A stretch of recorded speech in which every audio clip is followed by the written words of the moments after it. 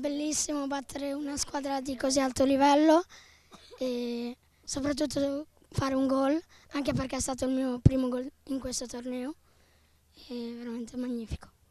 Una vittoria però eh, eravamo sicuri che gli avversari non erano facili e li abbiamo affrontati al meglio. È bellissimo stare in questo gruppo anche perché tutti siamo d'accordo e tutti si muovono, cambiamo le posizioni, siamo sempre d'accordo, è magnifico. Forza Lugano!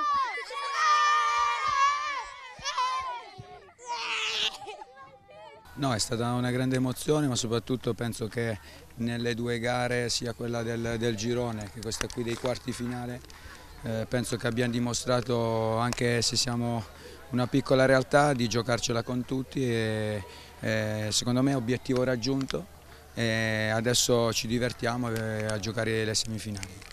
Sì, condivido questa affermazione qua in quanto noi fin dal primo momento ci siamo preposti come obiettivo quello comunque di una crescita costante, tant'è che abbiamo portato tutti i bambini, non abbiamo bambini selezionati, eh, lavoriamo col materiale umano che c'è e quindi eh, vedere questo gruppo crescere in un anno per me è un grande motivo di soddisfazione.